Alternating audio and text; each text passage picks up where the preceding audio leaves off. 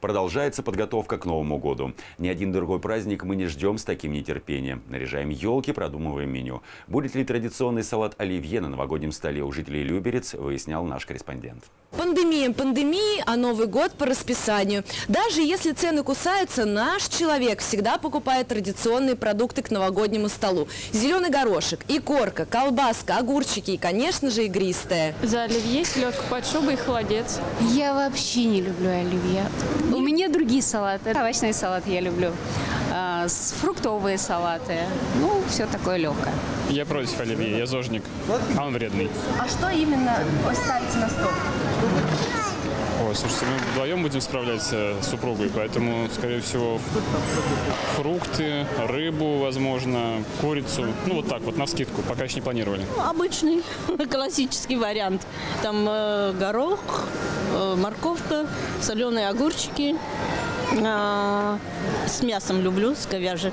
Давайте выясним, во сколько обойдутся потребителю традиционные блюда в этом году. Оливье с колбасой на 4 порции обойдется потребителю в 473 рубля. За последнюю неделю его стоимость выросла примерно на 30 рублей. Подорожала колбаса. Традиционная селедка под шубой для семьи и гостей будет стоить 590 рублей. Стоимость почти такая же, как и в прошлом году. На тарелочку с бутербродами с икрой уйдет 900 рублей. Ну а как же без игристого? Самую дешевую бутылку можно купить за 374 рубля. Мы пообщались с продавцами, и они рассказали, какие продукты в преддверии праздников берут покупатели. У нас все берут. И крабы, и рыбу, и икру.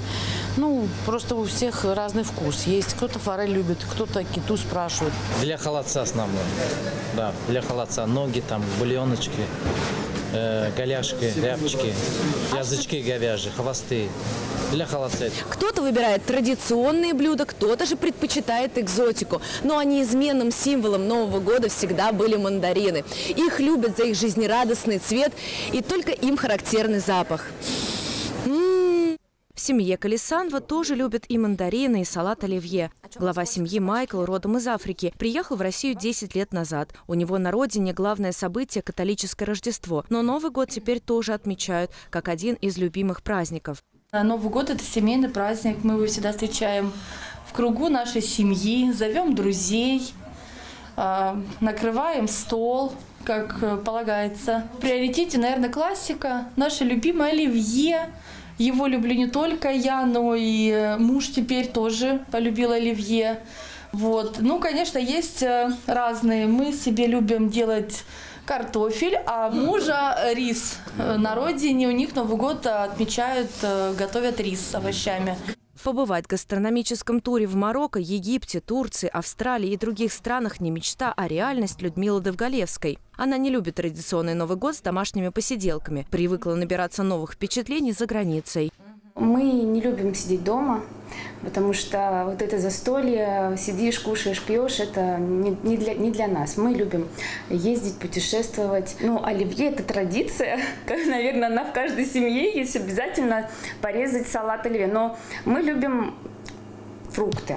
И вот, допустим, сейчас мы съездили, мы привезли с э, Венесуэ- с Венесуэлы, я привезла а, такие маракую, Новый 2022 год по восточному календарю будет год тигра. И, как утверждают эксперты, этот знак любит мясные блюда. И чем больше мясных закусок будет на столе, тем лучше. Ирина Камышева, Денис Заугольников, телеканал ЛРТ.